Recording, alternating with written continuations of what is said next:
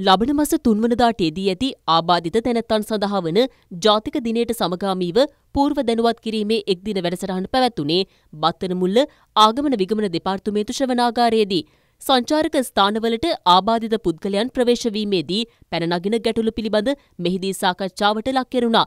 මෙම අවස්ථාවට ජනමාධ්‍ය අමාත්‍යංශයේ ලේකම් රංජිත් ආරියරත්න මහතා ඇතුළු පිරිසක් එක්ව සිටියා. මීට අවුරුදු 20කට විතර වගේ පෙර මේ රටේ තාමත් වැදගත් ශ්‍රේෂ්ඨාධිකරණ තීන්දුවක් ලබා දුන්නා. ඒ ශ්‍රේෂ්ඨාධිකරණ තීන්දුවෙන් කියවුනේ ආබාධ සහිත ප්‍රජාවගේ ප්‍රවේශ පහසුකම් සලසා දීම සියලුම දෙනාගේ වගකීමක්. ඒ නිසා ඒ සඳහා අවශ්‍ය කරන ක්‍රියාමාර්ග ගත යුතුයි කියලා. ඒ අනුව සමාජ සේවා දෙපාර්තමේන්තුව සමාජ සුබසාධන අමාත්‍යාංශයකට නිකුත් කරන චක්‍රලේඛයක් සම ප්‍රවේශ පහසුකම් සැලසීම සඳහා අවශ්‍ය කරන ක්‍රියාමාර්ග ගන්න කියලා. අපිට ලොකු වගකීමක් තියෙනවා. මොකද හේතුව අද මේ හොඳින් ඉන්න අපි හෙට වෙනකොට අපිට මොනවා වේද කියලා අපිට කියන්න බෑ.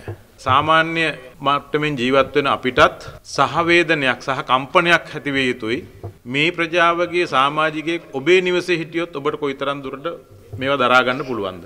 වර්තමාන රජය ඒ සඳහා ප්‍රතිපත්ති ප්‍රකාශයේ ප්‍රධාන වශයෙන්ම පරිච්ඡේදයක් වෙන් කරලා තියෙනවා නිර්බාධිත සමාජ ජීවිතයක් යුක්ති සහගත සම ප්‍රවේශයක් කියලා.